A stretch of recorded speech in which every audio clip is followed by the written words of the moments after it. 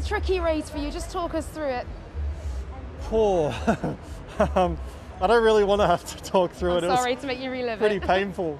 Um, yeah, just we weren't quick. I thought the beginning would be able to, let's say, cut through the field a bit easier, but we got through a couple cars and then it just was stalemate and killed the front tires uh, quite quite quickly there.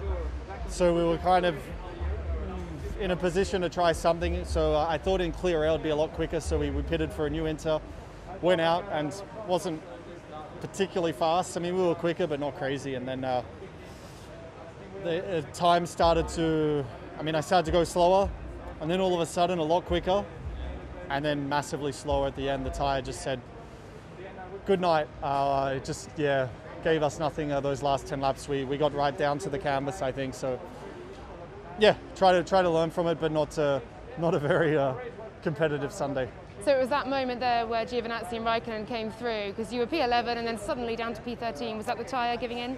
Yeah, it was. I mean, they got me on the last lap or, or opening the last lap, but uh, it was honestly 10 to go. I knew it was going to be tricky. You never know with these conditions; it changes so much. I thought, okay, maybe the, the tire will come back, but uh, yeah, it had nothing left. So, um, yeah, just uh, I'm looking forward to Austin. That's all. You've been on such a good run. Uh, this is a blip, but hopefully Yeah. not denting your confidence and momentum too much. Yeah, I'm. Um, yeah, I'm not not gonna let it bring me down. Um, if I think about this weekend, all I got to do is think about Monza, and I'm happy again. So, no, it's uh, it's all good. I mean, we're gonna debrief now, learn learn, try to learn something from it, but then uh, let's move on and just a little speed bump uh, on the journey. So, not uh, not stressed.